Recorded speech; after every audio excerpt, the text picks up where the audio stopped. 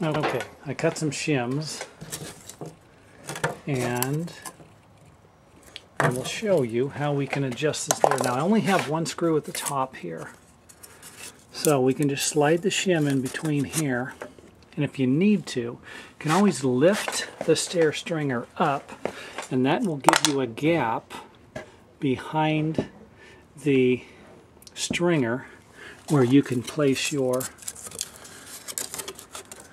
where you can place your wedge and adjust it a little more. So I'm just going to push it in by lifting the stringer up. And then, believe it or not, all we got to do is push down on this. And that's going to give us a gap behind there. Now we can check to see if this is an acceptable and it is. That looks good. Give you an idea. Now, the stair stringer on the bottom, remember, needed to be adjusted. So, let me just hold the camera for a second. Our stair wedge in the back fell out. That was that noise. Now, we can see that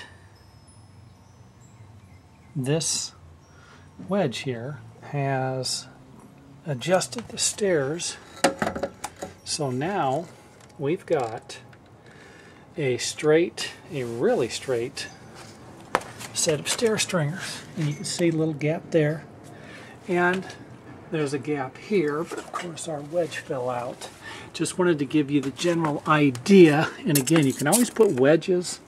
Recommend putting them on each side something like that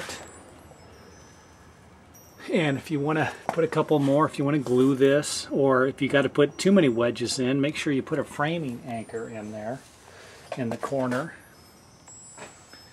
to uh, give you some extra support I mean if you have too big of a gap here you're not really getting a good you're not getting support in here um, for the stair stringer. So try and fill it up with something. Same thing with the bottom. And you could always fill it up with construction adhesive too. And I don't mean fill it up. Make sure you got the wedges under there and then apply the construction adhesive. Sometimes the construction adhesive underneath the wedges will keep them in place. You'd be surprised at how much of this stuff shrinks up, gets loose, and now you've just got a you've got a gap between this and this. So tips for the tips for stair building.